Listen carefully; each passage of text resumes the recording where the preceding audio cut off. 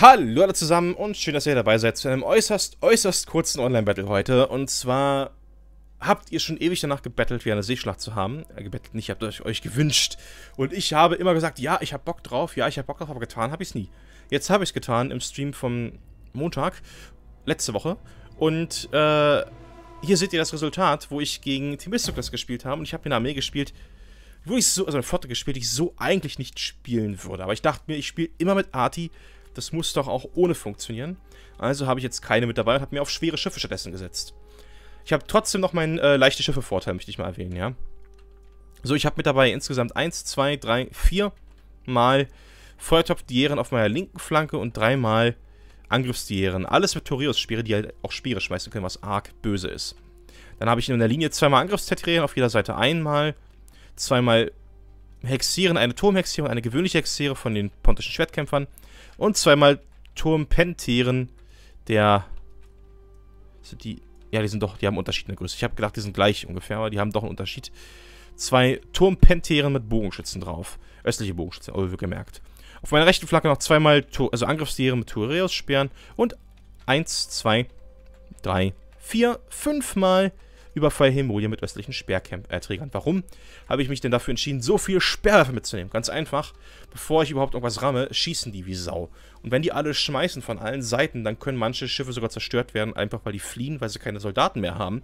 Und das war mir wichtig, dass ich damit halt ein bisschen was reißen kann. Vor allem später, ähm, wenn die ersten Schiffe besiegt sind und ich komme zum Support in die Mitte mit rein, ist es dann doch ziemlich hilfreich. Ich habe auch deswegen die Hemolie mitgenommen mit östlichen Sperrträgern Trägern, weil die halt einen unheimlich guten Geschossschaden haben, ist nochmal eine gute Erweiterung. Und weil die im Endeffekt mehr Männer auf dem Schiff haben als die Angriffsdieren. Was hat denn der gute Themistokles mit dabei? Auf jeder Flanke, glaube ich, oder? Ja, auf jeder Flanke hat er zweimal Angriffsbirem der Hastati. Hat dann auf jeder Flanke einmal eine Angriffshexareme Triari. Eine davon ist auch ein Gen, eine ist eine Turmhexareme, wie ich gerade sehe. Die andere nicht, okay. Da hat er Angriffsquadrem, vier Stück mit dabei. Himolien Leves 1, 2, 3, 4, 5, 6 Mal. Also als Fernkämpfer dahinter eigentlich gar nicht so blöd.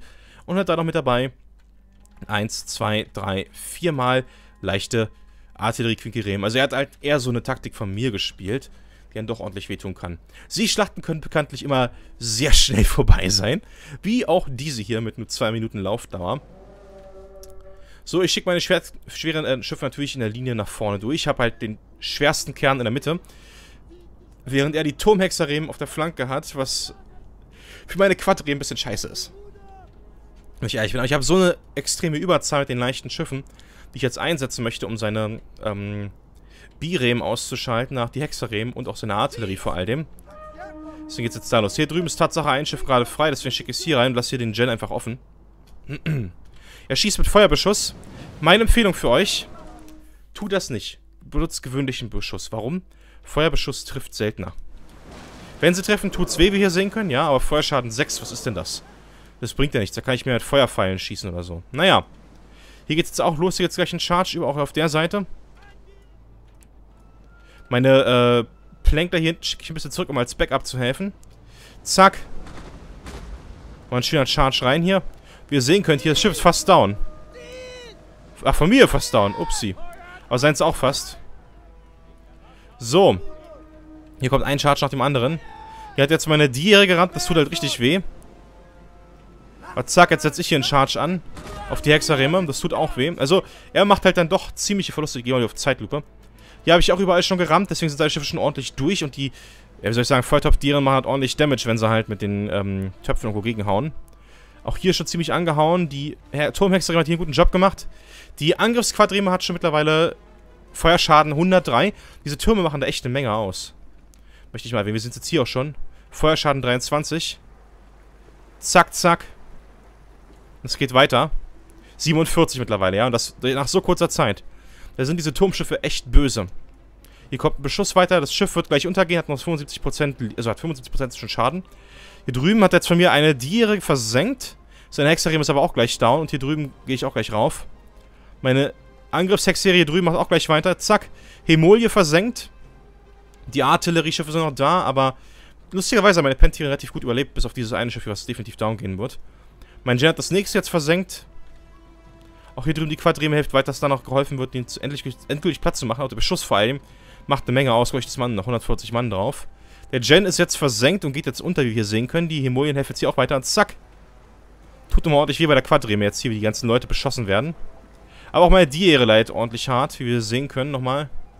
28er Schaden. Die Hemolien machen jetzt hier weiter und rasen drüben heute rein in die Dieren. Also Biremen sind ja bei ihm. Meine schweren Schiffe machen hier weiter. Eine Angriffsquadreme ist gerade nochmal gefallen. Diese Quadrime wird auch gleich sinken. Ich setze trotzdem mal einen Charge drauf an, habe ich einfach nicht gesehen. Das Problem. Naja, jetzt kommt hier der nächste Charge gleich rein. Hier drüben hat er halt gepennt. Er hätte hier einfach reinrammen müssen und das Schiff wäre weg gewesen. Tatsache. Meine Hexareme geht jetzt hier mal schön rein. Ins gegnerische Schiff. 36er Feuerschaden. Der Ansturm macht einen 51er Schaden einfach mal auf dieses Schiff. Das ist heftig, was so ein Hexareme drauf hat. Naja. Das Schiff hier drüben, zack, fällt jetzt endgültig. Pang, weg ist es. Der Feuerschaden hat eine Menge ausgemacht. Meine Bogenschützen machen auch immer weiter hier. Und hier drüben brennen auch die Quinkeriemen bald alle. Weil diese Turmschiffe doch noch ordentlich was ausmachen. Naja. Hier drüben ist der Kampf gleich gewonnen. Eine weitere Bire äh, Diere ist für mich gefallen. Die Hexe hier drüben ist jetzt auch endlich weg. Jetzt kann ich die einen zum Support schicken. Und die Moral bricht zusammen. Warum? Armeeverluste. Und das ist schon ziemlich heftig. Zack. Das bricht gleich alles zusammen. Also es fehlt nicht mehr viel, wenn die alle weg sind. Hier drüben fliegt übrigens der Turmpentere. Und jetzt fliegt auf einmal alles gleichzeitig.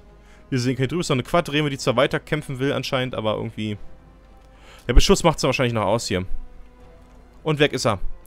Also die Armeeverluste haben es am Ende noch ausgemacht. Ziemlich heftig, was ich da alles noch innerhalb von kürzester Zeit geholt habe.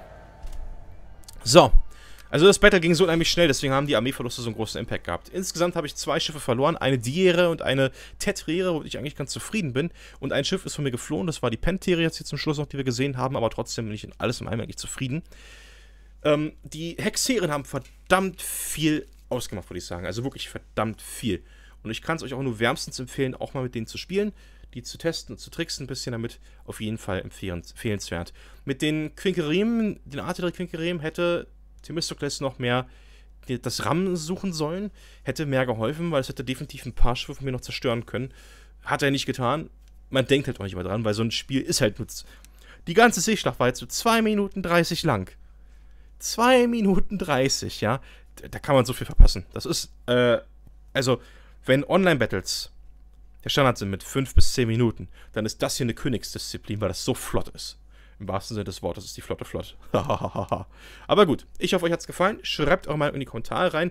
Ich würde mich tierisch freuen, wenn ihr mir helfen würdet, die 6000 Abos zu knacken. Es ist nicht mehr weit. Jede Hilfe ist erwünscht. Ich freue mich tierisch drüber. Es kann sogar sein, wenn dieses Video hier online ist, ist es schon durch. Ja, dann entschuldigt mich, aber ihr könnt mich trotzdem unterstützen, wenn ihr wollt, ja? Und Like wäre auf jeden Fall geil. Und wenn ihr Bock habt mitzuzocken, Discord-Link ist in der Beschreibung oder zumindest im Kanalbanner drin. Könnt ihr reinschauen. Wir sehen uns beim nächsten Norm 2 Total War Online Battle morgen um 18 Uhr. In diesem Sinne, ciao, bis zum nächsten Mal.